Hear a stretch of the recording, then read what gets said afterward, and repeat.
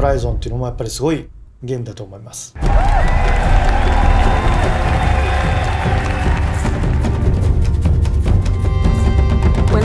first trailer for the game came out and I saw Aloy, I fell so in love with that character.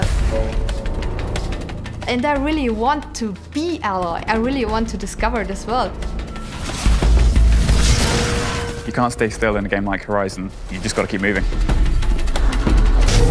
There's no one way to take down a machine. I tend to go in arrows blazing.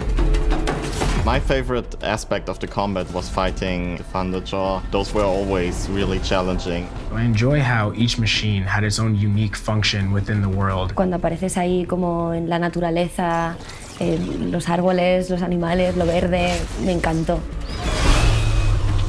It's the kind of world you want to get lost in. Het is een geweldige reis met een superstoere hoofdpersoon in een wereld die je wel moet ontdekken. Aloy is amazing. I absolutely loved playing her as a character. She never lost a sense of humour the whole way through, and she just seriously gave absolutely no. That's so good. That's so good.